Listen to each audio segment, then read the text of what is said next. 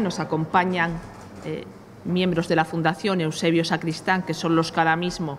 gestionan estas instalaciones. Las personas que sois de aquí las conocéis. Se tratan de, espacios abiertos donde se puede practicar con seguridad eh, todo tipo de deportes de, aventura, buceo, espeleología, escalada y demás y, donde también realizan prácticas eh, los cuerpos de salvamento y socorrismo en estas instalaciones. En estas instalaciones, eh, a partir de la semana que viene, se desarrolla, se desarrolla, el programa que hemos puesto en marcha este verano de los Rural Camps, los campamentos eh, rurales, por decirlo de alguna manera, que no, que no solamente urbanos, sin pernocta. Las actividades de campamento que realizaba la Junta de Castilla y León este año se trasladaron en una serie de campamentos que se realizan en todas las provincias, tres, cuatro actividades por provincias, para niños entre 12 y 17 años en grupos reducidos, eh, manteniendo las medidas de seguridad que son de obligado cumplimiento que se publicaron en la guía que publicó la, Junta de Castilla y León y que está a disposición de todo el mundo, tanto de los organizadores de campamentos como de las familias, como de todas las personas están a disposición en la, página web. Son campamentos reducidos, son para 24 niños como máximo, organizados en dos tandas, eh, de 12 a 14 años y de 14 a 17 años. La semana que viene, en estas mismas instalaciones, el día 20, empieza uno de multiaventura dirigidos a los niños de Palencia, las zonas del Alfoz y la zona de la comarca. Y ahora mismo está en marcha, que vamos a saludarlos y, vamos a, verlos, eh, un campamento de inglés, eh, organizado por la, por, la, perdón, en el complejo juvenil Castilla, en el que participan niños con monitores nativos de, de inglés. Se trata de, por un lado, facilitar la conciliación de las familias y, por otro lado, el disfrute de los más pequeños y la dinamización de este tipo de, instalaciones.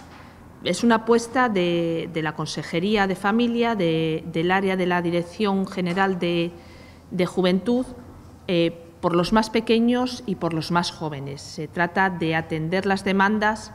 que nos plantean y dentro de esas demandas, por un lado, se encuentran estos campamentos y por otro lado se encuentra eh, el decreto que vamos a llevar a Consejo de Gobierno el próximo jueves. Es eh, un decreto sobre eh, diferentes aspectos que nos han pedido los, los jóvenes. Por un lado, se actualizan las titulaciones existentes, tanto de monitor y coordinador de tiempo libre como de informador juvenil, para adaptarlas a los certificados de profesionalidad es una demanda que nos llevan haciendo mucho tiempo y que ve la luz con este decreto que, como les digo, se llevará a Consejo de Gobierno el próximo jueves. Eh, se trata de poner en valor eh, un reconocimiento eh, de la labor que desarrollan todas estas entidades de voluntarios, de reforzar el valor de estas titulaciones de formación juvenil. Como he dicho, se adaptan las materias para que sean un cauce para obtener los certificados de profesionalidad de manera que favorezca la incorporación de los mismos al mercado laboral y además se adapta a la normativa estatal, mm, facilitando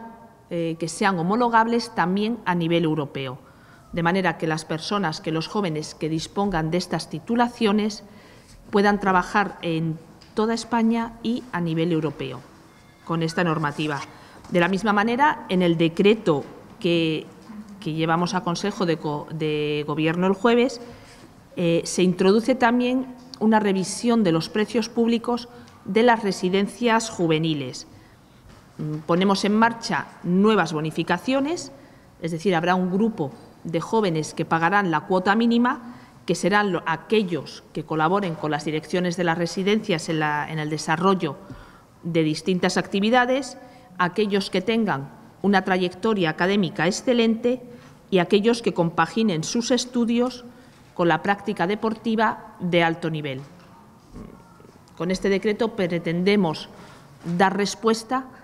a las distintas demandas que nos han ido trasladando los jóvenes a través de las distintas asociaciones o a través de la interlocución directa con, todos ellos. Entonces, visitaremos ahora el campamento juvenil, el campamento que se está desarrollando aquí al lado de, de inglés y posteriormente las instalaciones de la roca. Si tenéis alguna pregunta.